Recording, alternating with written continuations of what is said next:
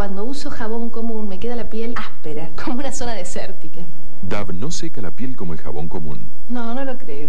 Usalo cinco días seguidos y no vas a querer volver a tu jabón habitual. Hace la prueba. Tu piel sentirá la diferencia.